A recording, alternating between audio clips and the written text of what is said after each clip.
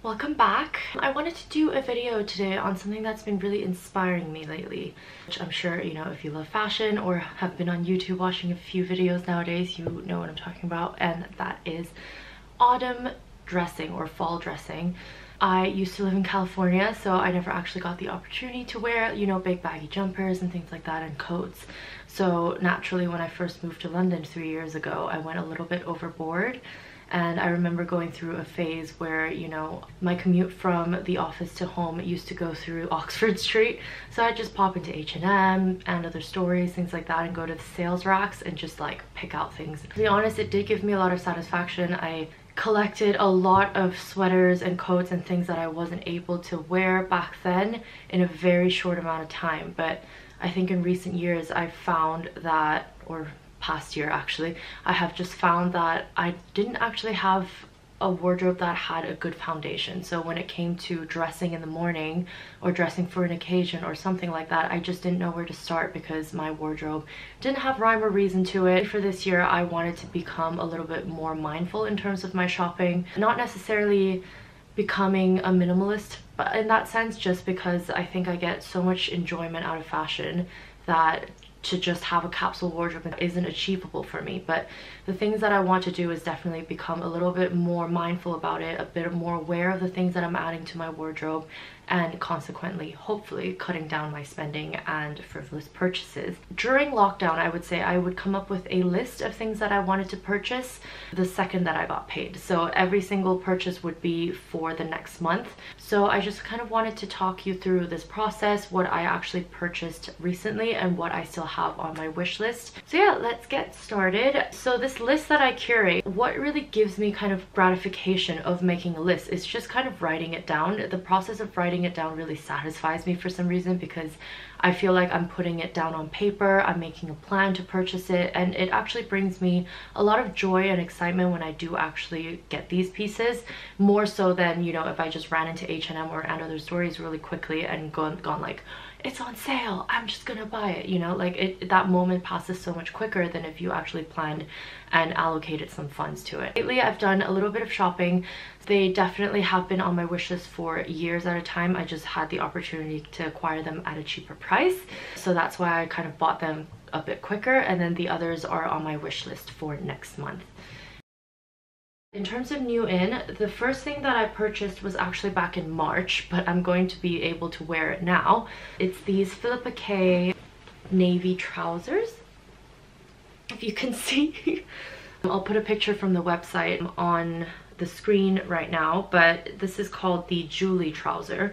I saw this first on Shot from the Street, so Lizzie Hadfield, she was talking about her favorite trousers, and I've always been on the lookout for trousers, but it's a bit difficult for me because my thighs and my butt is larger than the rest of my body so I'm bottom heavy. And with trousers it seems like if it's too baggy on the waist and too tight on the bum it looks a little bit weird. So I've always been kind of unsure as to what kind of style of trouser I would suit and what would look flattering and make me feel good about myself in.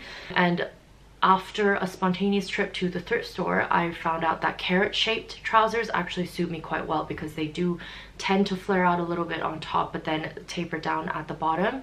So I found that these trousers were amazing in terms of fit on me. I bought it in March because it, they had a lockdown sale of 30% off. So I bought it back then knowing that I wouldn't be able to wear it until autumn. So I actually wore it for the very first time yesterday and had a great time. And then I actually bought this yesterday. This is just a huge huge jumper from H&M um, and I saw it on Emma Hill actually um, very, very, very long ago. But it just wasn't available on the website. But I just thought for 18 pounds, this jumper looked really good. And I actually found it in store, so I just snagged it. If I were ordering online, I would usually go for a medium or a large in sweaters just because I like it more oversized. Um, but this I actually got it in a small because it's very very boxy and the drop shoulder I think also gives a lot more um, forgiving in terms of the room just because you know there's a lot more space over here and it's not really choking on your armpit per se. I think it is a staple just because it is a really, really understated pattern. A stripe is kind of, you know, you see it a lot in French dressing or Scandinavian dressing. I got quite a lot of shoes. Um, I do have a little bit of a shoe problem. Right now, what I'm going to show you is three pairs of shoes and I have a fourth one coming in from America. It sounds like a lot, but this is kind of what I'm trying to stick to, just five pairs of shoes for the entire seasons. So autumn, winter season. So yeah, I'm, I'm hoping that this will work out for me. So the first pair of boots that I got were actually these Stuart Weitzman Lowland boots. As you can see from the color, it's a really, really rich. It's turning up a little bit more rust on camera, but it's actually a true kind of deep wood brown. I'm just going to hold one of them up and talk about it. I found these at TK Maxx and I think it was like the best thing that happened to me all month. I was just shopping with my friend. She was looking for some cute outfits for her new godson and she wanted to go into TK Maxx to have a look. And at first I was just like, okay, yeah, I'll just browse the candle section, whatever, like doesn't really matter. But then I walked past the shoe section and saw these and I was like, are you kidding? like I've been looking for a pair of over the knee boots from Stuart Weitzman because I have two other pairs. I have another black pair and a green pair that I've had for four years and three years respectively. I just love them so much that I wanted to add another pair to my wardrobe. I wanted either a gray or a brown pair, but I was erring a bit closer to the brown pair just because I like warmer tones. And yeah, I just, I found them. and they were marked down from 798 pounds to 249 pounds.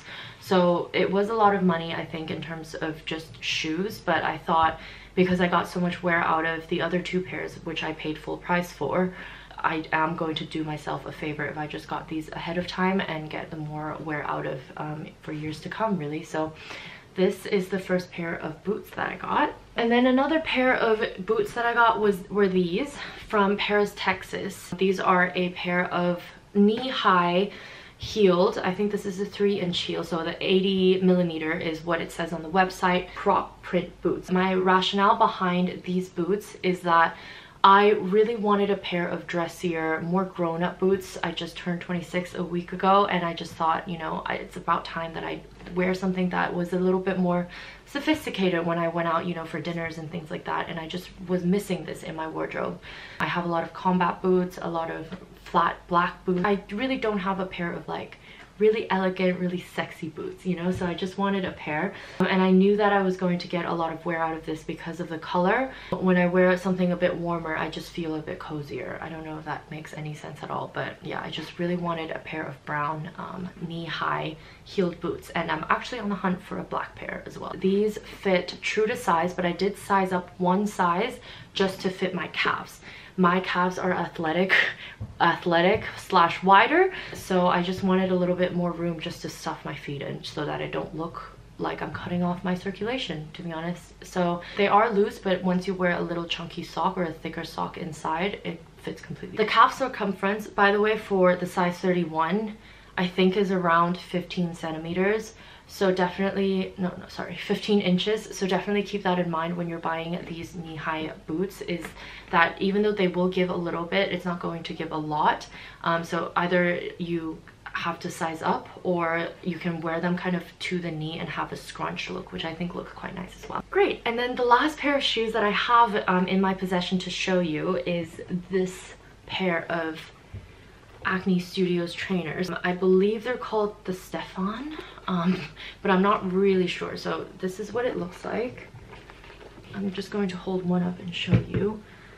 I've been eyeing these for years. I think when they first came out and I showed my friend, she was like, don't buy them, you look like orthopedic shoes. But I've loved them for years and years and I just thought, you know, maybe this is the time. And actually my boyfriend very kindly bought these for me for my birthday every single detail about this shoe I love and I love white trainers. I think everybody can agree that this is a wardrobe staple. I have a pair of Common Projects that I've worn regularly now for three-ish years and they are bursting at the seams a little bit. Things are falling apart. So I just wanted a little bit of a replacement and a slightly different look than the Common Projects. If you know what they are, they're really, really streamlined and sleek. But yeah, I just love the color contrast. These two are different colors. This is a gum sole that's kind of in a milk color. And then this is kind of a very, very stark white. And then this also has kind of perforated dots over here as details, kind of like the Nike shoes do. And the Velcro has really nice detailing. It has Acne Studios, it shows over here and then the signature smiley face at the very end over here as well. Oh, also, sorry, another detail that I really, really love is this gum sole that leaks onto the top over here. I think it just adds so much dimension to the shoe and it adds a little bit of interest as well to an otherwise quite basic, quite plain chunky white trainer. I loved, I wore this yesterday these trainers with my Filippa K trousers, which gave it a little bit of a scrunch top. The trousers kind of fell over the trainers a little bit, which just gave it such a casual look that I loved. Great, and then the last thing that is coming on its way is a pair of Marc Fisher booties. I bought them during the Nordstrom anniversary sale, which I used to shop when I lived in America, but now that I don't, I still like to just peruse online and see what they're up to and doing. I wanted the Dear Frances ones for years and years but those are I believe 540 pounds and to me it just isn't really something that I'm willing to spend my money on because of the style. It is a more casual style but it has a heel. So to me it's a little bit in between. Like I can't wear it in a very very dressy occasion like I could the Paris Texas boots but I also in terms of day-to-day -day wear isn't really well versed enough to wear a heeled boot if that makes sense. So I just didn't want to spend that much money on it if I wasn't going to get a lot of wear out of it but I did want to dip into that style a little bit. Um great. And then moving on to things that i want. Well aware that you know my impulse trips to another stories and h&m and all of the jumpers that i bought over the years they're still fine. Some of them just need debobbling but i still am trying to wear them and incorporate them into my nowadays wardrobe. But there is a one jumper that I absolutely love and it's from Arket and it's an oversized wool jumper, I'll put it here, with a kind of U-shaped neckline in the color mole, which is kind of a grayish, beigeish brown, which I just love. It's kind of the combination of a muted color palette that I love, but also the warm tones that I mentioned that I really gravitate towards. Yeah, that's one of the jumpers that I love. And in terms of the detailing, I really wanted to talk about this because I think over the years of my jumper buying, I kind of realized what I like and what I don't like within a jumper and not all jumpers are made the same. The issue actually that I have mainly is usually the neck cuff. So kind of like this collar that you can see that goes like this, like this. This I love. I, this kind of detailing I feel like really elongates the neck just because it shows this part a little bit more. Whether or not that's just me and like my overthinking, I don't know, but to, to me, I just love that. And then the other thing that I loved about it was that it was a normal knit, but then at the cuffs, it also had the same vertical stitching detailing as um, the collar, which I thought was really consistent and really high end a lot of high-end kind of jumper makers, for example, Toteme Joseph, things like that, they have these kinds of details that really just elevate the look of a jumper. If you go to a regular high street store and you buy, you know, a regular looking jumper, those are the details that are probably usually missed in the production line. Another thing is definitely the materials. Something that I've not really liked about and Other Stories lately is the kind of springy, stretchy feel of the materials of the knitwear. To me, that is very soft, yes, but it just feels a little bit springy and plasticky and it, after a while of wearing it over the years I felt it being a little bit uncomfortable and I not exactly breathable well. So that's another thing that I really look for in jumpers is definitely the material. For example, these kinds of fisherman knits I really, really enjoy just because it is still stretchy, but then the ones that have very, very fine knit but are stretchy, if you stretch it enough, you can actually see the sheen of the plastic strings running through.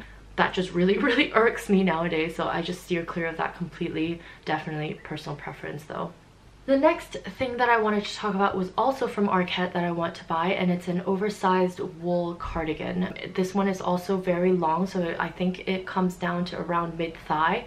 I plan on getting this in either a medium or a large. I definitely have to go into store and just put it against my body to see it because right now you can't try clothes on.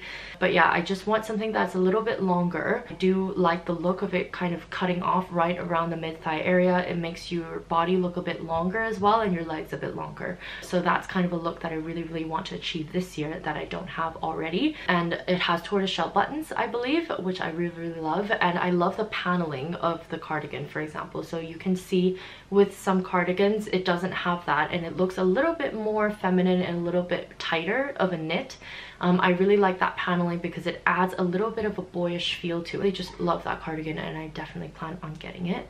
The last pair of boots that I want um, from Arket are these black slouchy knee-high boots. Primarily what I want to do with this is to have a streamlined black bottom look. The over-the-knee boots I really love but I also want something that's a little bit slouchy that gapes at the top of your knee a little bit just for a bit of a casual effortless vibe. In my head I'm thinking the Arket oversized wool jumper with a black mini skirt and kind of higher denier tights with the slouchy boots just to kind of give a little bit of a dimension to the winter outfit still streamlined enough because they're all black in the bottom. What that does in my opinion is just streamline streamlines your whole entire bottom half so that it looks like one long kind of thing but yeah that's kind of what i wanted to achieve and i definitely wanted a wide shaft boot so that it has the slouchy feel the last clothing item that i have that i want to purchase is a maxi black coat and I don't mean just a long coat that usually hits either below or right above the knee. I want something that goes all the way to the ankles and that is surprisingly difficult to find. A lot of places that I've looked at, for example, Sandro, Maje, H&M, Zara, all of the coats usually hit mid knee or be right below the knee and what I want is obviously ankle length. So I found two retailers that actually did it and hopefully maybe this is a trend so that more retailers will come up with it. But Weekday has one that has larger lapels and a thicker belt and it looks a little bit more structured on the website than the other one which is by COS which is what I have my eye on and it's called the wool mix belted coat. I think it's around 69% wool and then something else polyamide which I think would be really warm hopefully. But what I love about the COS one is that the lapel is a little bit smaller so it's less dramatic of a collar than the weekday one. I do have to try on the weekday one because sorry if the angle is a little bit different I had to change the battery. I think I just finished talking about my wool mix coat that I really love. Essentially I just wanted something that was really oversized, casual, cozy, but re yet really basic. So black color, obviously.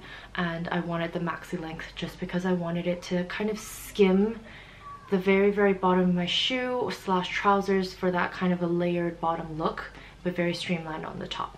The very, very last thing that I wanted to add to my wardrobe is actually a jewelry piece. So I was looking online for kind of cocktail rings. I got an idea off of this um, jewelry Instagram page that I follow called Erstwhile, I think.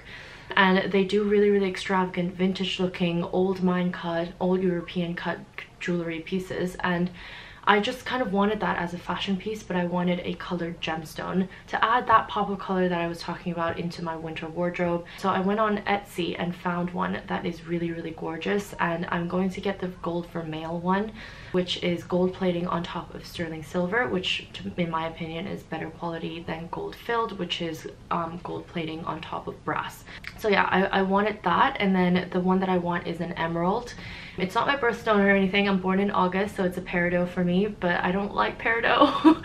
so I'm gonna go for an emerald. Um, I love that deep green color. These are lab grown jewels, so that's why they're a little bit on the cheaper side as well, but with two kind of side crystals, I believe. It's really vintage vintage looking, really elegant looking, and really kind of statement. So in my head, I'm envisioning, you know, for example, I have my usual rings that I wear all the time, but you know, underneath my jumper, this could just leak out a little bit like this and I just think you know in the winter time it's just quite like beautiful quite elegant but also quite understated to have statement kind of ring jut out through your jumpers and things like that that's it I think for the things that I want to add to my autumn winter wardrobe and the things that I acquired lately for the season.